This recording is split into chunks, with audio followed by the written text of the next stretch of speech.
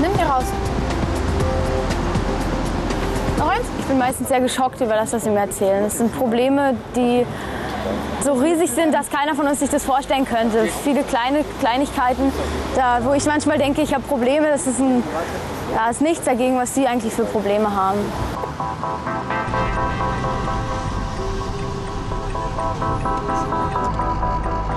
Ja, Hallöchen.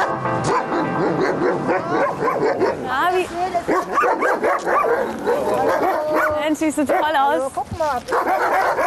Na du? Ich bewundere sie auch, wie sie kommt mit den Leuten um, wie sie steht dem gegenüber. Ja, und wie verarbeitet sie das alles? Weil das ist nicht nur äh, Brote verteilen und dann äh, Schlafsäcke, aber das kommen auch dramatische äh, Lebenssituationen. Das ist ein Engelchen. Engel, Engel für die Obdachlosen. Ja, bringt allen zu essen, zu trinken und Freude. Die hat schon eine Ausstrahlung. Ja.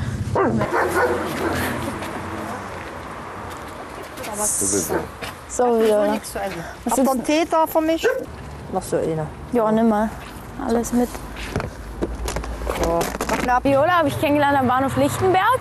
Sie präsentiert uns immer neue Outfits. Ja, sicher Heute ist sie die Heute Braut.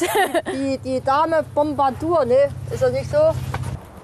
Viele Leute laufen vorbei und denken, denken sich nicht darüber, was in den Menschen vorgeht. Sie sind reden manchmal sogar abfällig über die Leute und sehen diese Menschen gar nicht als Menschen. Gerade diesen Leuten muss geholfen werden, bin ich der Meinung.